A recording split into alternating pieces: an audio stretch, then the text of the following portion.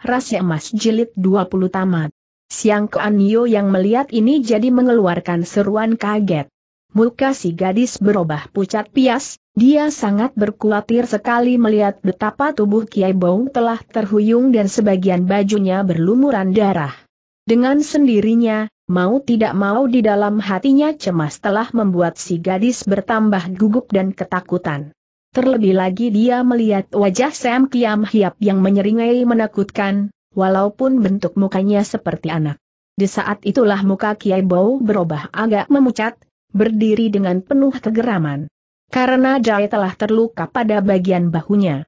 Tapi waktu dia menyentil pedang itu, justru pedang lawannya itu bukan pedang biasa, sehingga cagak pedang itu menggaet pundaknya sehingga kulit di bagian bahunya dilukai oleh pedang lawannya.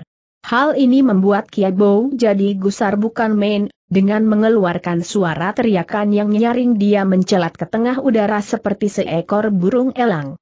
Tentu saja Sam Kiam Hiap tetap mengawasi dan bersiap akan menerima terjangan si pemuda dengan pedang cagaknya yang aneh itu.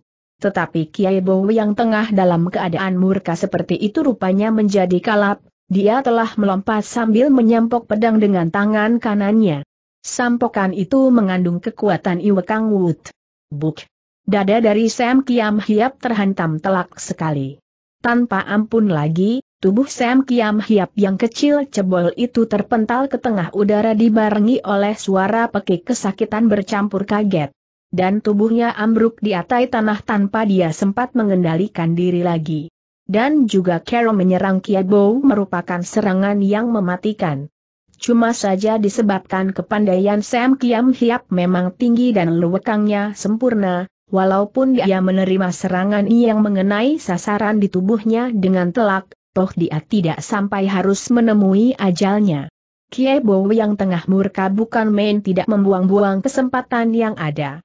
Dengan mengeluarkan suara bentakan yang mengandung kemarahan dia melancarkan serangan lagi. Sam Kiam Hiap saat itu tengah merangkak untuk berdiri, dia melihat datangnya serangan yang begitu hebat jadi terkejut sekali.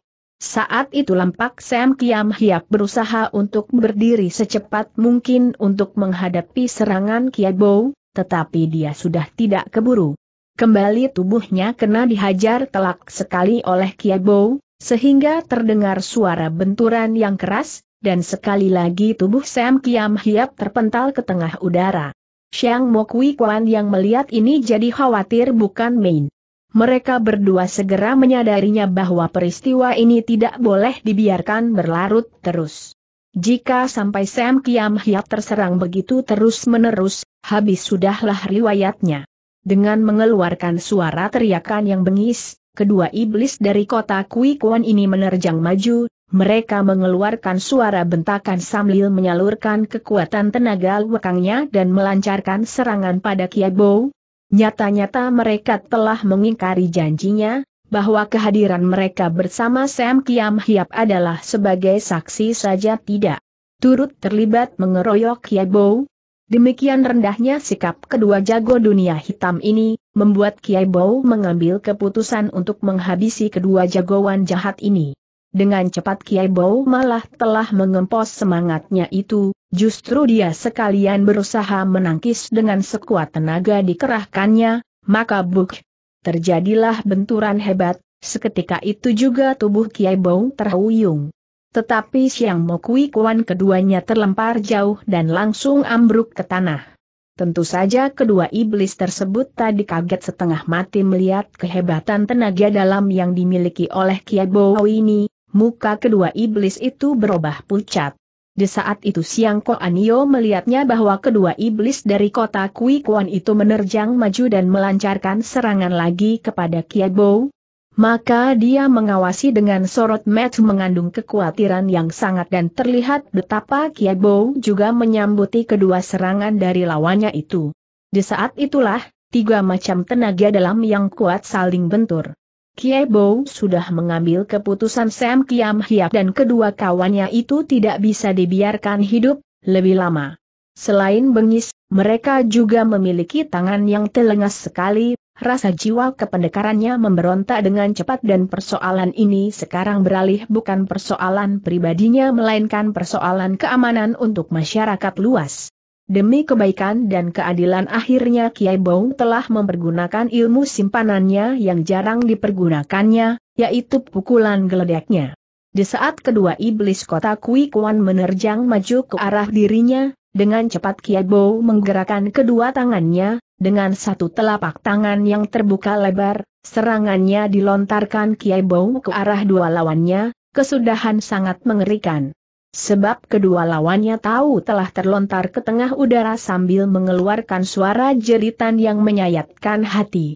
Tubuh mereka ambruk di atas tanah tanpa berkutik lagi, karena seketika itu juga tubuh mereka telah berubah menjadi hitam, bagaikan disambar petir, Inilah akibat hebatnya tenaga pukulan geledek yang dipergunakan Kiai Bo. Sedangkan Sam Kiam Hiap yang melihat kedua kawannya menemui ajalnya dengan cara mengerikan seperti itu, dengan sendirinya jadi kaget setengah mati.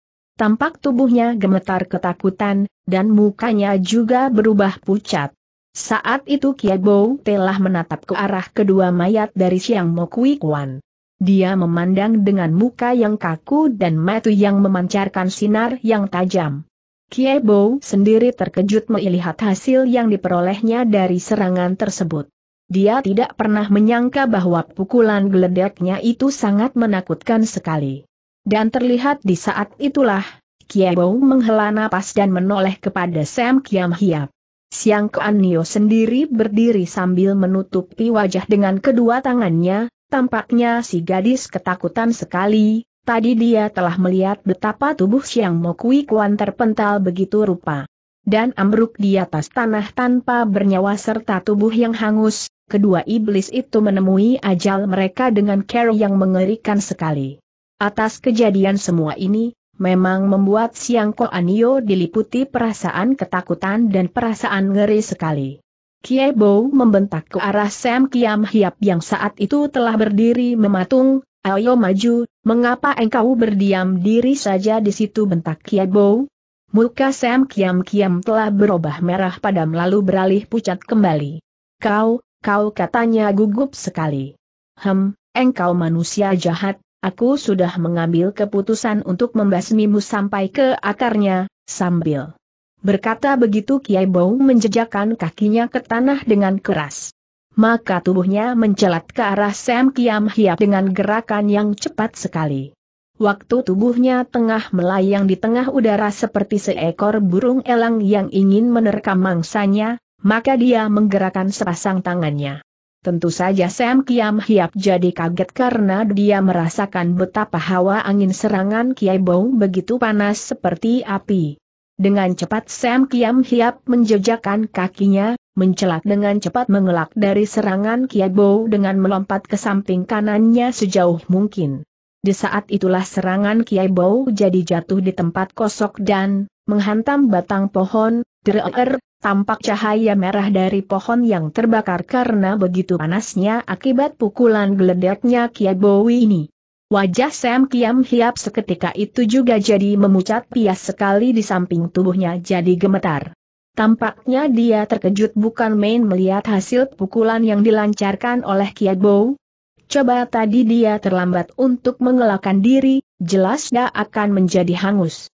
Kiai yang tengah murka dia melihat bahwa Sam Kiam Hiap bukanlah orang baik, dia mengambil keputusan akan membinasakannya.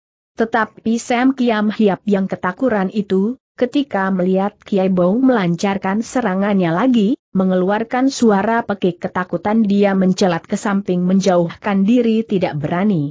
Untuk menangkis atau menyambuti serangan yang dilancarkan oleh Kiai Bou. Ampun, ampunilah, aku Tai Hiap, pendekar besar, jerit Sam Kiam Hiap. HMMM, Maosia seperti engkau tidak patut diberi pengampunan mendengus Klebo dan membarengi dengan dengusannya itu, Kiebo VW melancarkan serangannya lagi. Dan malah semakin hebat saja, tentu saja Sam Kiam Hiap berulang kali harus lari ke sana kemari dengan ketakutan. Sambil berlari begitu tidak hentinya ia menjerit meratap meminta pengampunan dari Kiebo, rupanya nyali Sam Kiam Hiap hancur luluh dia ketakutan sekali.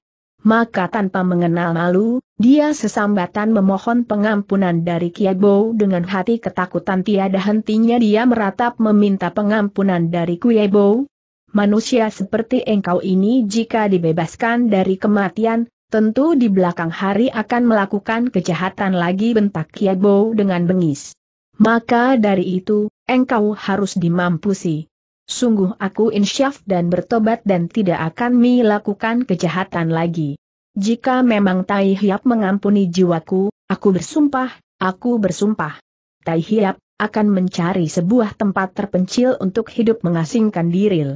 Sungguhkah perkataanmu itu bentak Kiabo sambil berhenti melancarkan serangannya dan melihat Kiabo mulai mau menanggapi ratapannya itu, maka Sam Kiam Hiap cepat menekukan kedua kakinya, dia berlutut sambil membenturkan keningnya dengan tanah dan meratap sambil menangis mengucurkan air mata. Tidak akan melakukan kejahatan apa pun lagi katanya sambil menangis dan terisak sedih. Kiebo berdiam diri sejenak, kemudian dia menghela napas panjang. Baiklah, hari ini kuampuni jiwamu. Tetapi kau harus menepati janjimu, bahwa engkau akan hidup mengasingkan diri dan tidak akan melakukan kejahatan lagi. Benar Tai Hiap, aku bersumpah kepada bumi dan langit yang menjadi saksinya. Jika aku melanggar, biarlah aku dikutuk seumur hidup dan tubuhku hancur luluh. Kiebo menghela napas lagi, baiklah, pergilah kau kata Kiebo. Berulang kali, dengan air mata mengucur, Sam Kiam Hiap telah mengucapkan terima kasihnya. Dan dia melangkah akan berlalu. Tetapi tiba Kiabo memanggilnya, tunggu dulu. Muka Sam Kiam Hiap seketika itu juga jadi berubah pucat, tubuhnya menggigil. Ada, ada apa Tai Hiap tanyanya dengan suara yang gemetar. Hem mayat kedua kawanmu itu dibawa serta oleh kau dan nanti dikubur baik kata Kiabo, Sam Kiam Hiap jadi bernapas lega, dia mengiyakan dan membawa mayat kedua kawannya itu berlalu dengan cepat. Kiebo menghampiri Siang Ko Anio yang tengah menangis ketakutan. Maka cepat Kiebo menghiburnya. Dia mengajak si Nona untuk berlalu, Siang Ko Anio merasakan bahwa dia merasa tenang sekali berada di sisi si pemuda yang tangguh dan kosen ini. Oh Dewix Nol Taho. Penutup Begitulah Kiai Bau bersama Siang Ko Animar mengembara dalam rimba persilatan. Dan selalu pula Kiai Bau melakukan kebajikan dan perbuatan yang mulia menolong orang yang sedang kesulitan, membebaskan si lemah dari tindasan si kuat. Semakin lama si gadis si Siang Koan itu semakin menyukai pemuda yang hebat ini. Dan juga dia telah mencintainya. Kiai Bou sendiri juga membalas cinta si gadis, karena kelembutan gadis itulah yang menarik hatinya. Maka mereka menikah.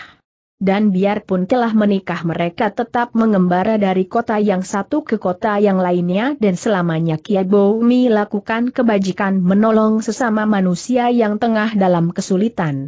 Di saat-saat seperti itulah nama dan gelaran Kiai Bou menjulang harum dalam rimba persilatan. Maka gelaran si Rasi Emas merupakan gelaran yang sangat ditakuti oleh para penjahat. Setelah mau gembara selama lima tahun, Kiebo mengajak istrinya, Siang Ko Anio, untuk mengasingkan diri di pegunungan Tiansan kedua suami istri hidup di sebuah lembah yang indah sekali dengan tenang dan damai karena pemandangan lembah di lereng pegunungan Tiansan merupakan tempat yang sangat sesuai sekali untuk orang yang mengasingkan diri dari keramaian terlebih-lebih Kiabo, yang bermaksud hidup tenang dan bahagia di sisi istrinya yang tengah menantikan putra mereka yang berada dalam kandungan Siang Ko Anio. Tamat.